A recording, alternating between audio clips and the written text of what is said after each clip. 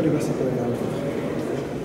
ما أقدرش ازيد على ال على ال على الأنشطة اللي اتعملت في يوم أو في في في الاستعداد ليوم البيئة العالمي. أنشطة متعددة عبر فترة كبيرة بتتراكم وبتوصل لقمتها النهارده. ولكن واضح جدا إحنا رايحين فين؟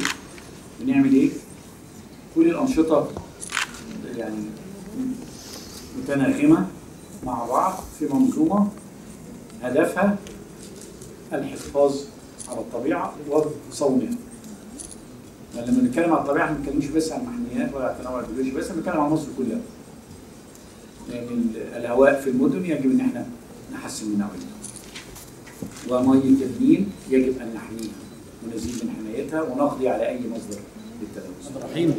طبعا اليوم آه، إحنا بنحتفل وان كان بنحتفل احتفال بيوم البيئة ولكن إحنا بنحتفل بحاجة أكبر من يوم البيئه وهو العشر من رمضان إحنا جايين من أساس النهارده كوزارة بيئة نحتفل بالاثنين بالعاشر من رمضان ثم يوم آه، البيئة العالمي اليوم البيئة العالمي السنة دي بنتكلم على أنا مع الطبيعة.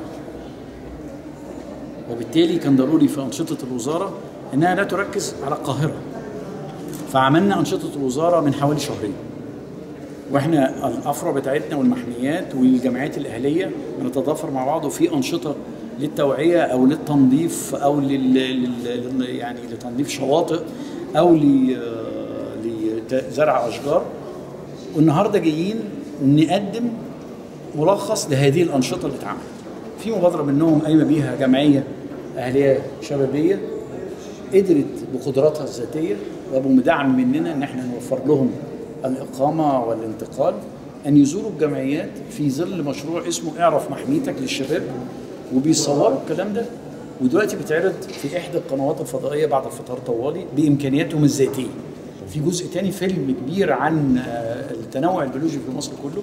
فيلم مدته 50 دقيقة. بيسر بيوثق كل التنوع البيولوجي والمحميات اللي موجودة في مصر باللغة الإنجليزية وباللغة العربية عشان نستخدمه نروج للسياحة البيئية في مصر. ونروج لاستضافة مصر لمؤتمر التنوع البيولوجي اللي إن شاء الله هيكون 2018 اللي يجب تبدأ تروج له.